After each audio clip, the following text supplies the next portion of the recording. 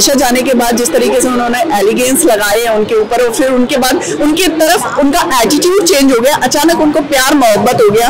अंकिता लोखंडे और विकी जय उनका तब भी मुझे लगता है कि वो लोग अच्छा खेल रहे हैं। So welcome to Bollywood chronicle Sonia Bigg Boss follow कर रहे हो ऑफ़ कोर्स करेंगे बिग बॉस जिस तरीके से चल रहा है तो मुझे तो नहीं समझ में आ रहा क्योंकि बिग बॉस में मुझे लगता है कि इंडिविजुअल गए हो तो इंडिविजुअल खेलो प्लानिंग सोच रहे हो कि नहीं हमारी आयशा आएगी या हमारी गर्लफ्रेंड आएगी तो ही गेम आप अच्छा खेल सकते हो तो नहीं आप बहुत कुछ हो क्योंकि आपको ऑडियंस बहुत प्यार करती है।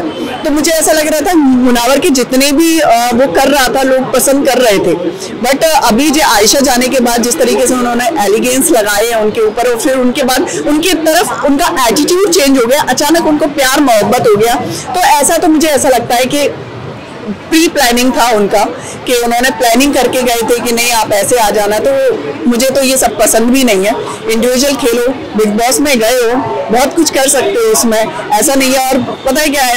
एक कपल हो दो कपल हो ऑडियंस कितने कपल देखेगी? मतलब फिर तो आपको ऐसा लगेगा कि या तो फ़िल्म देख लें या एक सीरियल भी बहुत अच्छे आते हैं। कलर्स पे वो देख लें। फिर बिग बॉस देखने की क्या ज़रूरत पड़ेगी उनको। अच्छा अभी फ़िलहाल में किसका गेम सबसे अच्छा लग रहा है आपको? मुझे तो किसी का भी गेम नहीं अच्छा लग रहा। है इनफैक्ट कम से कम जो एक कपल गया है अंकिता लोखंडे और विकी जय उनका तब भी मुझे लगता है कि वो लोग अच्छा खेल रहे हैं। अकॉर्डिंग टू मतलब और भी लोग हैं।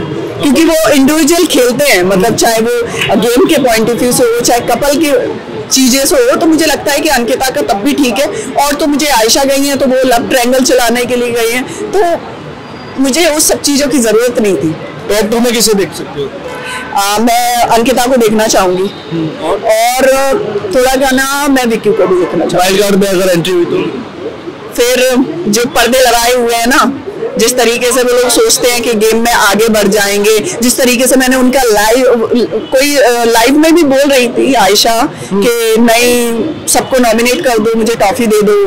अरे यार ये सब चीज़ें गलत है। मुझे ऐसा लगता है कि मुझे भी टॉफी नहीं चाहिए इनफैक्ट क्योंकि मैंने उतना इनपुट नहीं डाला है उसमें।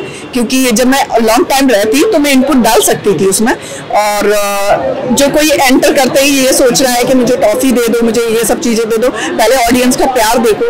जो ऑडियंस आपको कनेक्ट करे जिस तरीके से मुझे लोग कनेक्ट कर रहे हैं तो मुझे लगता है कि बस मेरे लिए वो चीज़ बहुत है कि मैं इंटरटेन कर रही हूँ। Okay thank you thank you so much